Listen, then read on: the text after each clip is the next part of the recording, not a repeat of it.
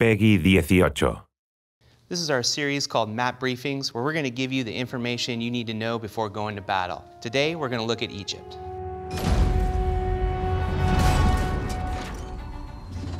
I'm Matt Abbott, lead artist for multiplayer at Sledgehammer Games.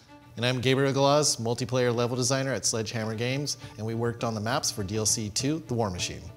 For Egypt, we focus on a British encampment stationed at the Giza Plateau in order to control the Suez Canal. The Suez Canal was the key to keeping the war machine rolling as it gave access to critical resources.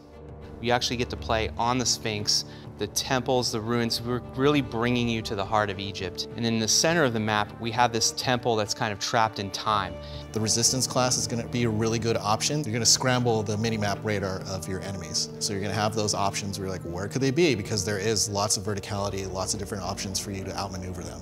So for objective modes, you're generally gonna spawn in these areas back here. The nice thing is you have these structures here and here, which are pretty defensible. The artillery emplacement over here also has some half cover that's pretty solid. Um, this location has some full cover as well, and they have a second story you can get on top of. So one of the, the sneakier positions on the map is here at the water temple.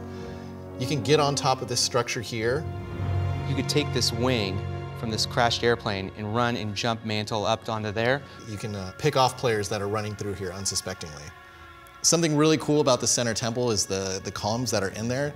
There's not only great mid-range fights and close-range fights in there, but chunks of the columns will come off. So there's going to be a lot of chaos, a lot of destruction going on in there. So in this temple, this is probably where the most action is happening.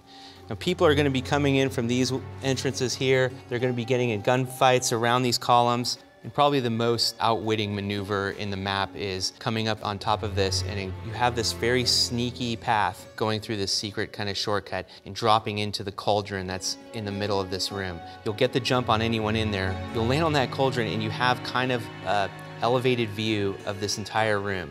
And from there, you can get the jump on people. Uh, draw. the Sphinx, the pyramids, temples, sarcophagus, hieroglyphics. We try to put just as much as possible in there to make our players feel like they are really immersed in an Egyptian setting. So we hope you appreciate what we've put in there and we hope you have fun playing it.